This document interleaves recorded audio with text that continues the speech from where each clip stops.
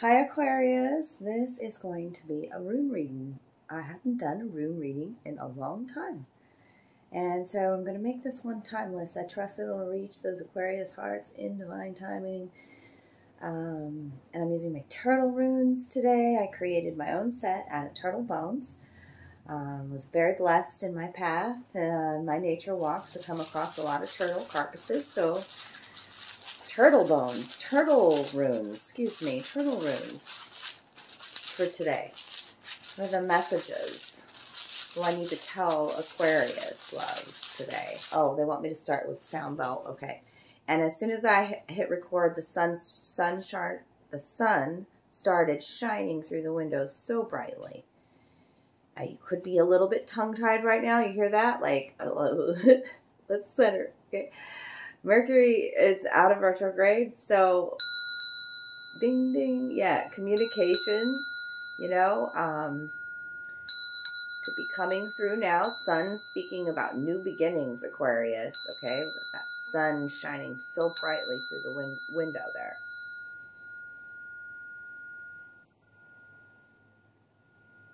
Take a few deep breaths in for me and out. There we go.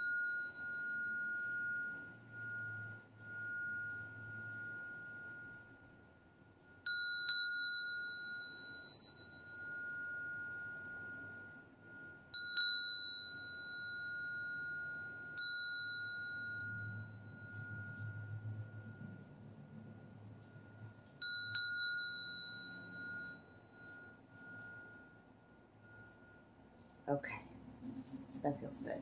Let's get started. I'm burning also some rose incense. So high vibrational love we're talking about when we talk about rose energy.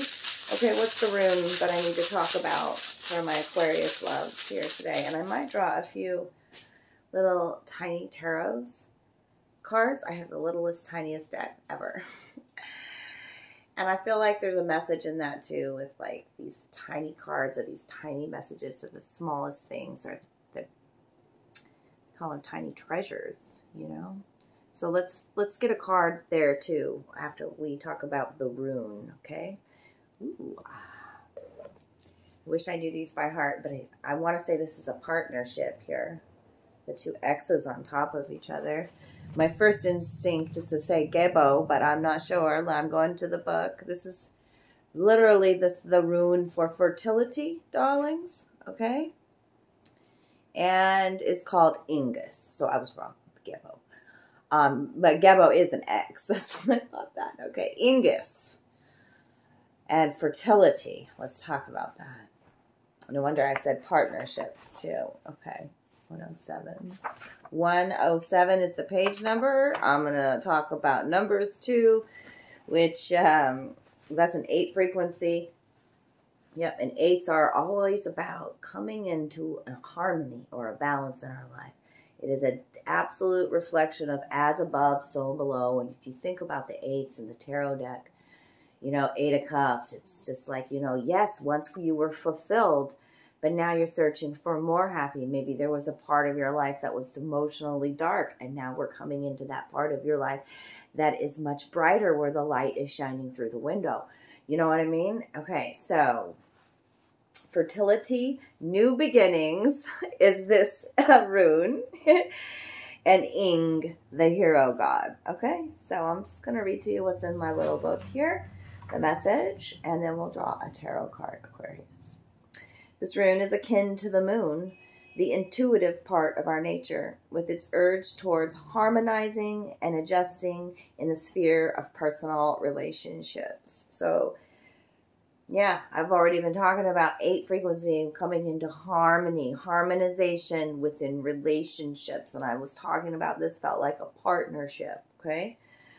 Inguz embodies the need to share, the yearning to be desired, a search for similarities. The completion of beginnings is what Inguz requires. Drawing this rune may mark a time of joyful deliverance, a new life, a new path. A rune of great power, receiving it means that you now have the strength to achieve completion, resolution, from which comes a new beginning. Above all, completion is crucial here. It may be timely that you complete some project now. Mm-hmm. If so, make that your first priority. Perhaps a difficult state of mind can be clarified or resolved. The appearance of this rune indicates that you must fertilize the ground for your own deliverance. All things change, and we cannot live permanently amid obstructions. Inga signals your emergence from a closed chrysalis state. As you resolve, by the way, Inguz is number eight in this book. On page 10788 now. Um, I get excited about numbers, Aquarius. You know, you know, you speak my language. Inga single, signals your emergence from a closed chrysalis state. As you resolve and clear away the old, you will experience a release from tension and uncertainty. You may be required to free yourself from a rut, habit, or a relationship, from some deep cultural or behavioral pattern, some activity that was quite proper to the self you are leaving behind. The time of birth is always a critical one Movement can involve danger, and yet movement that is timely leads out of danger. The time has come to enter the delivery room. You're birthing a new life. Are you feeling those labor pains? Hmm. Normal, right? Okay.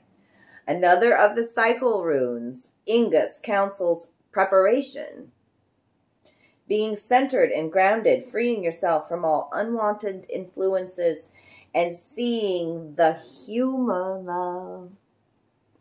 This is crone energy. You are indeed prepared to open to the will of heaven and await your deliverance with calm certainty. Hmm. I really love that for you, Aquarius. I really, really fucking do. I'm really excited for you for that. Birthing a new life. Okay, so let me shuffle up my little bowl here of the tiniest tarot tricks. tiniest tarot tricks. tell me more about Inguz. What else do we got to tell the Aquarius tribe? What else do we got to tell them? What do we got? This one? This one? This one? This one? Oh, loves. One, two, three, four, five, six. I'm getting used to this deck, so I'm counting the wands. It's a fucking ton of wands. It's a lot of passion, but it's it's an overload of burden as well. This is the ten of wands. The ten, though, is the ending and the new beginning. This person's carrying a heavy load. This person may be living up to other people's expectations as well. Ten of wands energy. Said it said release yourself from the past. You are no longer in the cocoon. Your wings are strong. Okay, it's time to fly. Yeah. So drop these wands, these other other people's shit. It's okay to say no as well too, and start anew, start again. What are you passionate about? Aquarius, Ten of Wands energy. I want to get another one.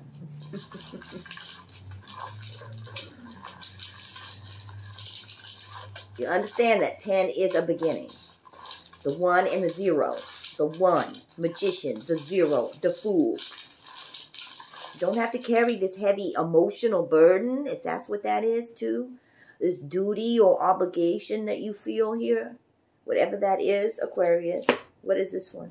This underneath the amethyst. Holy crap, Bola, you feel so trapped and so limited right now. This is the Eight of Swords. You feel blindfold. You're blindfolded here and tied up. But I'm telling you, the swords, the swords are your thoughts, is the mind. Okay? You're trapped in your mind, in the labyrinth of your mind. That's why you need to let go, too, of other people's expectations here. You're birthing a new life, a new you. These are blocks in the mind. This eight. An eight. Again, shit, they want me to get another one. Damn, this is more than just one rune reading. it's okay. I'm enjoying it. It's time I do some rune readings. Okay. Yes, it's time to heal your heart here too. It shows me that somebody has been in a period of depression for a while. I've got the Five of Cups here. And the Five of Cups now is the change, though. Fives are transformation. Moving into six, which is what? Balance. Okay? So, Five of Cups is can you see the silver lining in the situation? What you've learned, okay? Here. There's a lot of sadness. There's a lot of burden here. There's a lot of mental, uh, um, almost sabotage and carrying other people's uh, like this is telling me that it, it makes you sad other people's opinions of you or um, it makes you sad you feel burdened by some sort of duty or chores or maybe it's at home maybe it's at work but you have a lot of regret for not being able to live up to other people's expectations too or something from the past that you're still holding on to. Because four of cups five of cups is those are the de- those are the depressive states but it is time to see the silver lining in a situation is five cups. What's the final advice here for aquarius?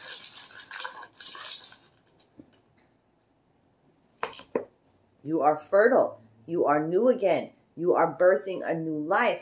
You are a butterfly. Yes and now we've got this grounded energy here. Look how okay you got to look too here that every suit is coming out here. Cups, wands, swords, and now what do we got? I got the Nine of Pentacles. And you know what this energy is? Is that you learned some lessons about your worth. Okay?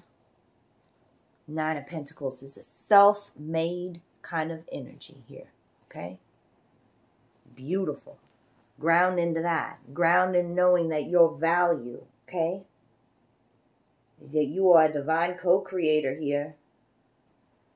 You are content, solid, firm, and grounded in your own beliefs here, Aquarius. Okay? You've been investing in yourself. That's what this tells me, too. Okay? So, I love you guys. I hope this, and if you haven't been, it's time to. This is time, this is a single card too, so it's time to focus on self with the Nine of Pentacles out here. And what does abundance mindset mean to you? Because abundance is not just money, right? An abundance of happiness, abundance of bliss, an abundance of peace, an abundance of ease, an abundance, you know, and that's what this card is talking about. These lessons you've been learning about your value and how you value yourself. And time for you to forgive yourself too. I think with that Five of Cups coming out here, or others, to set yourself free. Okay? You are worthy of beautiful connections, new relationships that feel good as well. Okay? I love you, Aquarius. Take good care of you. Drop me some love down below if it resonated. Thank you for your tips and good karma donations. And if you'd like your own personal rune reading like this, please do reach out to me. Every like helps, every share helps, every comment helps. I want to go live. I'm almost there. So, and when I go live, I can do readings for you guys right there and we can interact. So, fuck yes. I love you, Aquarius. Thanks for your support. Bye.